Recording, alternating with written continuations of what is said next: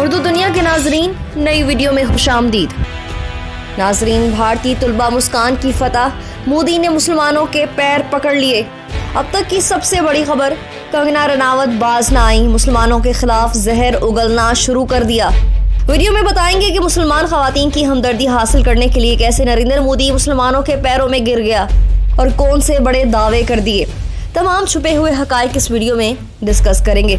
जबकि वीडियो के आखिर में बताएँगे कि भारतीय सुप्रीम कोर्ट भी इंतहा पसंदी पर उतर आया। मुसलमान खातन को इंसाफ देने से साफ़ इनकार कर दिया।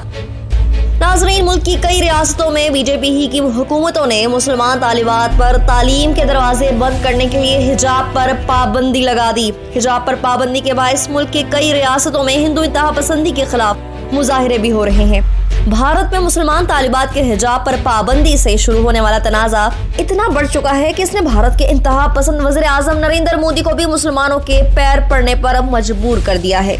ये वाक्य भारतीय रियासत कर्नाटक से शुरू हुआ, जहाँ एक सरकारी तालीमी इदारे में मुसलमान तालिबात को हिजाब के बायस कॉलेज में दाखिले की इजाज़त नहीं दी। तालिबात के एहतजाज के बाद इन्हें कॉलेज में दाखिल होने की इजाज़त तो मिल गई, लेकिन इन्हें अलहदा क्लासरूम्स में बिठाया गया। इंतजामिया का कहना था कि तालिबात को क्लास में आने की इजाज़त तब दी जाएगी जब वो हिजाब उतार कर और कॉलेज यूनिफॉर्म पहन कर आएँगी। मुसलमान तालिबात ने हिजाब पर पाबंदी के खिलाफ अदालत से रजू किया, मगर अदालत भी इस केस को सुनने से कतराने लगी। और अदालत के सिंगल बेंच ने केस लार्जर बेंच को भेज दिया।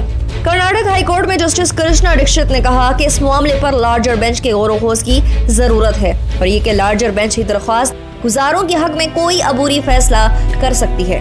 नाजरीन, यूँ तो ये भारत में इकलियतों के साथ पेश आने वाला मामूल का वाक्य है। मगर ये वाक्य मुकम्मल तौर पर उस वक्त मंजर आम पर आया जब एक मुसलमान तालिबा मुस्कान की वीडियो सामने आई। वीडियो में देखा जा सकता है कि कर्नाटक में कॉलेज आने वाली बाहिजाब मुस्लिम तालिबा मुस्कान को इंतहा पसंदों ने डराया धमकाया, लेकिन तालिबा ने भी डट कर हरासा करने वालों का मुकाबला किया। इंतहा पसंद हिंदुओं ने नहत्ती मुसलमान तालिबा के सामने जमा होकर जय श्री राम के नारे लगाने शुरू किए तो मुस्लिम तालिबा ने इनसे डरने की बजाय इनके दहशत गर्दाना इकदाम का बहादुरी से सामना किया और मुश्तिल हजूम के आगे नाराय तकबीर बुलंद किया। नाजरीन, मुस्कान खान, महात्मा गांधी मेमोरियल कॉलेज चौधरी की तालबा हैं। भारतीय मीडिया से गुफ्तगु में मुस्कान ने कहा कि इंतहा पसंदों का तनहा सामना करने से बिल्कुल खौफ ज़्यादा नहीं हुई। बुड़का पहनने पर मुझे इंतहा पसंदों ने कॉलेज में दाखिल नहीं होने दिया। इंतहा पसंदों ने जय श्री राम का नारा लगाया तो मैंने भी अल्लाह अकबर की सदा बुलंद की। तालबा का कहना था कि कॉलेज के प्रिंसिपल और लेक्चरार मेरी मदद और हिफाजत को आए। हिजाब हमारा हिस्सा है। और प्रिंसिपल ने कभी कुछ नहीं कहा। बाहर के लोगों ने ये सब किया के लिए एहतजाज जारी रहेगा। ये एक मुस्लिम लड़की की शनाख्त का हिस्सा है। नाजरीन इस वाक्य पर दुनिया भर से उठने वाली आवाज़ ने भारतीय ईवानों को लर्जा कर रख दिया है। और भारतीय वजी नरेंद्र मोदी अब मुस्लिम खातन का सबसे बड़ा हमदर्द होने का दावा कर रहा है। उत्तर प्रदेश के शहर सहारनपुर में इंतबी जलसे से खिताब के दौरान नरेंद्र मोदी ने कहा कि वो हर एक मुस्लिम खातून के साथ खड़े हैं। मुस्लिम बहन बेटियाँ हमारी साफ़ नीयत को बहुत अच्छे से समझती हैं। मोदी ने कहा कि बीजेपी के लिए तरक्की में खातन का किरदार सबसे अहम है। आज हर शोबे में खातन की भरपूर शमूलियत हो रही है। हमारी हुकूमत हर मजलूम और मुतासरा मुसलमान औरत के साथ खड़ी है ताकि कोई इन पर जुल्म ना कर सके। रियासत के वजर अला योगी आदित्यनाथ की हुकूमत मुस्लिम खातन के खिलाफ जराइम रोकने के लिए मुसलसल काम कर रही है। भारतीय वजी अजम ने कहा की मुल्क में मुसलमान खातन को दिए गए हकूक की फरहमी में रुकावट डालने के लिए नित नए तरीके इस्तेमाल किए जा रहे हैं। लोग मुसलमान बहनों को वरगला रहे हैं ताकि वो ज़िंदगी के मामला में हमेशा पीछे रहें। मुस्लिम खातन पर जुल्म रोकने के लिए रियासत में आदित्यनाथ की हुकूमत ज़रूरी है। मोदी ने मजीद कहा कि उत्तर प्रदेश के लोगों ने इनको वोट देने का फैसला किया है, जो रियासत में तरक्की चाहते हैं। जो उत्तर प्रदेश को फसादात से पाक रखेंगे, जो हमारी माओ और बेटियों को खौफ से आज़ाद करेंगे।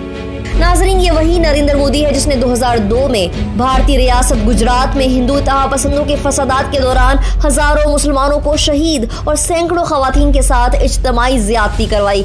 मोदी इस वक्त गुजरात का वज़ीर आला था। बीजेपी के इस वक्त के वजी आज़म अटल बिहारी वाजपेयी ने इन फसादात को भारत के लिए शर्मनाक करार दिया था। नाजरीन, इस वाक्य पर जहाँ भारत की दीगर बॉलीवुड अदाकाराओं ने भरपूर तरीके से मुसलमान खातन की हिमायत की तो वहीं भारतीय फ़िल्म इंडस्ट्री की मुतनाज़ा अदाकारा कंगना रनावत ने एक बार फिर मुसलमानों के खिलाफ जहर उगलना शुरू कर दिया है। कंगना रनावत ने भारतीय रियासत कर्नाटक में हिजाब पर जारी तनाजे पर रद्दमल देते हुए अपने तस्दीक शुदा इंस्टाग्राम अकाउंट पर खसूसी स्टोरी शेयर की। कंगना रनावत ने कहा कि अगर आप हिम्मत दिखाना चाहते हैं तो अफ़गानिस्तान में बुरका ना पहनकर दिखाएँ। कंगना रनावत का कहना था कि आज़ाद होना सीखें और खुद को पिंजरे में बंद ना करें। नाजरीन, तालबा मुस्कान की हिमायत में कई बॉलीवुड अदाकार आए और खातून सियासतदान खुलकर सामने आई। भारत की सीनियर अदाकारा शुबाना आजमी ने मुस्कान के साथ पेश आने वाले वाक्य पर रद्दमल का इजहार किया और भारतीय झंडे का हिजाब बनाने की तजवीज दे दी। शुबाना आजमी का कहना था कि क्यों ना इंतहा पसंदों को इन्हीं की जबान में जवाब दिया जाए। भारतीय फ़िल्म साज पूजा भट्ट ने कहा कि हमेशा की तरह एक औरत को धमकाने की कोशिश करने के लिए मर्दों का पूरा हजूम दरकार रहा।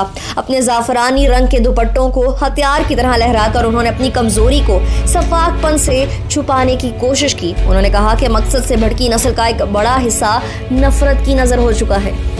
बॉलीवुड अदाकार एजाज खान भी मुस्कान की हिमायत में बोले एजाज खान ने अपने ऑफिशियल फेसबुक पेज पर तालबा का नारा बुलंद करते हुए अंदाज में खाका लगाया और शेर लिखकर तबसरा किया उन्होंने शेर लिखा कि कांटों में खुलता हुआ गुलाब देखा है लहू लहान आँखों में ख्वाब देखा है कहेंगे ये लोग सदियों तक हमने नकाब में इनकलाब देखा है कांग्रेस की रहनुमा प्रियंका गांधी का कहना था कि हिजाब हो घूंगरिया जीन्स खातन को अपनी मर्ज़ी के कपड़े पहनने का इख्तियार हासिल है।